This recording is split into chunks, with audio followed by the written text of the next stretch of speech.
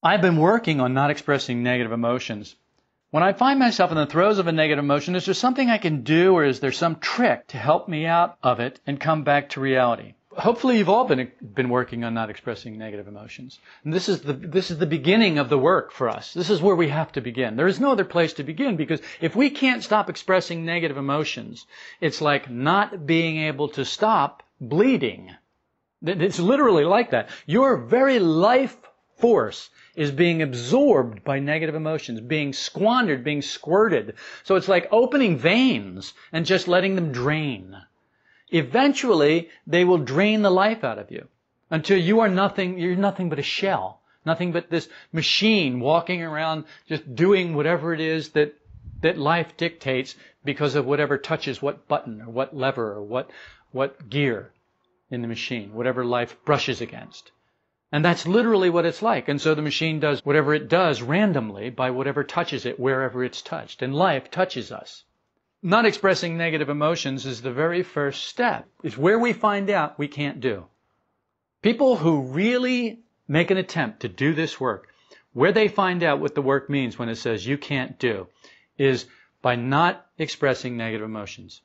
And what they, when they really find out what this work says, what this work means when it says we lie all the time is when we try not to express negative emotions, we find that we can't, and then we start lying about it.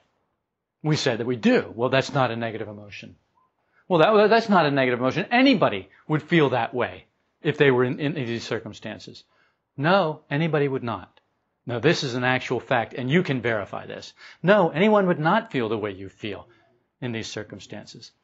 Well, Everybody I know would. Well, that's right. Everybody you know would because you want to be around only people who, who believe exactly what you believe, who think exactly what you think, who feel exactly what you feel. Because and anybody else who isn't like that, you've got buffers. You can't even see that about them. You'll just spray paint them a different color. Oh, well, they're, they're blue and all my group of friends are red and this one's blue. I'll just spray paint him red. Now he's my friend too. It's wonderful. We go around making everybody agree with us. Everybody agrees with us, and the people who don't agree with us, well, they're wrong. They've, they've made themselves, they put themselves out. They, we didn't paint them out of our circle. They painted themselves out by being wrong. And this is how we operate. We're essentially insane. When, I, when you find yourself in the throes of a negative emotion, yes, there's something you can do. Is it a trick? Well, it could be. It's up to you. It's up to you. What can you do in the throes of a negative emotion? Well, some negative emotions, absolutely nothing. You just go with it. There's nothing you can do. Sometimes all, the best you can do is muster up some awareness and see it and say, oh my God, I'm so negative. I just hate this person right now and I want to kill them. I'd like, if I had a, if I had a pencil, I'd stab their eyes out. All you can do is see that and the trick then is don't believe that. Don't believe that that's really you. Don't believe that that's really what you want to do because you know that in better moments, in better states, you would never stab somebody's eyes out with a pencil. No matter how ridiculous or how horrible they were, you wouldn't do that. In better states, you would just go, hey, look, people make mistakes, or people are crazy, or people are machines. And so you would let it go. So don't believe the bad state that you're in, the bad I's that are talking, the bad I's that are in control. Don't believe them. Step away from them. Step away from the I's. Step away from the bad I's and don't believe them. Try and find better I's who you can associate with. Try and find better I's to go with. Try and find some work I's who will say, look, people are all machines, lighten up. And that's a little trick that I find that you can do. Sometimes you can set traps for negative emotions, for the very fast ones. The very fast negative emotions. Sometimes you think ahead of time and you can set little traps for them. You see the paths that they run in. You see the ways, the things that come up. What makes them come up.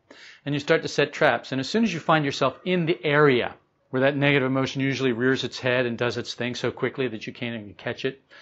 Then you set your trap and you say, okay, I know that this is where that negative emotion comes up, so I'm going to be on my toes looking for it. So sure enough, you start to feel some sense of it. Just the, the hair on the back of your neck starts to stand up and you say, okay, I know what this is, and you back away. What I mean by back away is you get more internal and less external. You go more into yourself where your essential self is, somewhere deep inside of you.